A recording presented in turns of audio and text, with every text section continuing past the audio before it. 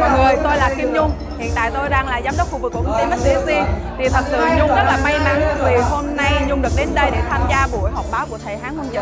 và Nhung được bén duyên với thầy cách đây một năm. À, năm vừa rồi Nhung cũng đã được tham gia buổi họp báo của thầy và năm nay cũng là năm thứ hai mà Nhung đã được tham gia buổi họp báo của thầy. Thì thật sự Nhung đã nhận được cuốn sách của thầy và Nhung đọc qua và Nhung cảm thấy rất là hay và có rất là nhiều kiến thức cần cho chị em phụ nữ của chúng ta thì sau khi mà Nhung đọc xong thì Nhung cảm thấy là cái sách này rất cần cho hệ thống của team Kim Nhung và Nhung đã đặt một số lượng rất là nhiều để có thể về cho team của Kim Nhung có thể đọc qua và có thể biết được thêm nhiều kiến thức từ cuốn sách này. Và Nhung tin chắc rằng tất cả những em phụ nữ đã đọc qua cuốn sách này thì chắc chắn những gì được có ở trong cuốn sách này sẽ là những cái kiến thức vàng giúp cho tất cả các bạn càng ngày càng phát triển. Thì thật sự hôm nay nhung đã được dự cái buổi uh, họp báo ở đây thì nhung cảm thấy là thầy đã càng ngày càng thành công và giúp cho nhiều chị em phụ nữ của chúng ta càng ngày càng thay đổi và càng ngày càng phát triển và giúp cho cuộc sống của chúng ta càng ngày càng tốt đẹp hơn. Và qua cái buổi uh, họp báo ngày hôm nay và cuốn sách của thầy thì nhung chúc thầy càng ngày càng có nhiều cuốn sách cho chị em phụ nữ của chúng ta hơn